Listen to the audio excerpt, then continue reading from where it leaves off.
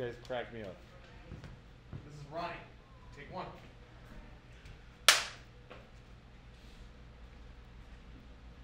Rolling. And action. So good to see you again, Will. Stanley, I need to ask you if you've ever heard of this man, Miller Beck.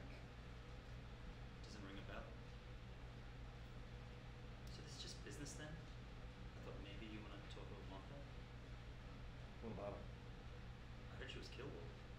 Why didn't you tell me? How'd you know about my wife's murder? I'm in jail, not on some other planet. I'm profoundly sorry.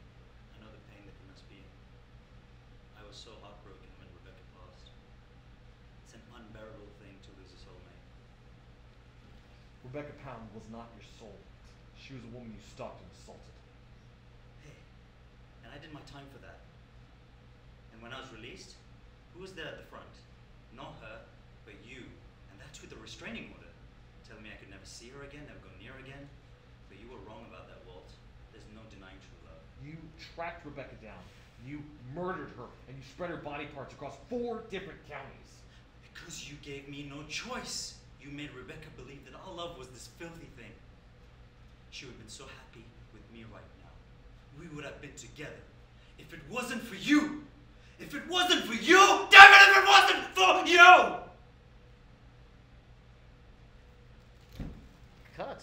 Get up and.